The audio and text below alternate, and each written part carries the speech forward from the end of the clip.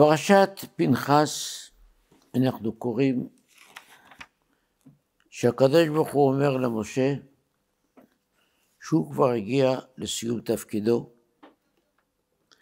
הוא לא ייכנס לארץ ישראל, מי שיכניס אותם לארץ ישראל יהיה המנהיג הבא אחריו. משה רבנו ביקש מהקדוש ברוך הוא שימנה איש אשר רוח בו. מה זה איש אשר רוח בו? אומר רש"י יודע להלך לפי רוחו של כל אחד ואחד.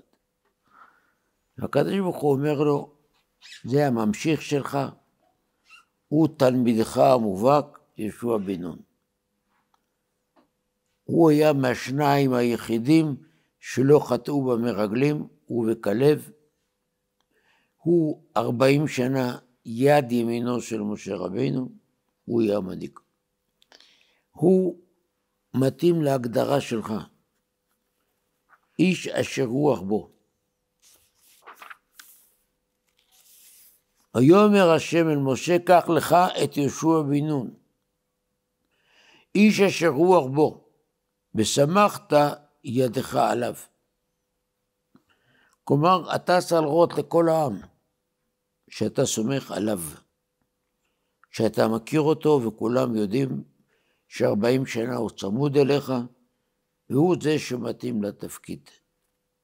ואתה צריך לתת לו את המינוי לעיני כולם.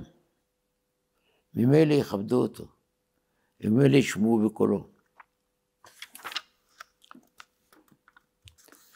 ואומר כאן הרמב"ן, רבינו משה בן נחמן, לפי דעתי בפשט הכתוב, שימנה אותו במעמדם להיות נגיד עליהם. כלומר, אספה כללית של כל העם, זה טקס העברת פיקוד. העברת פיקוד. כמו שעושים שרמטכ"ל מעביר תפקיד לרמטכ"ל, מפכ"ל למפכ"ל, זה טקס. מי ממנה אותו? ראש הממשלה. ראש הממשלה, הוא נותן את התפקיד. ככה גם כאן. השולט, השליט, הוא ממנה. הוא מכיר אותו. יש לו אמון בו. זאת הדרך שהתורה מציבה.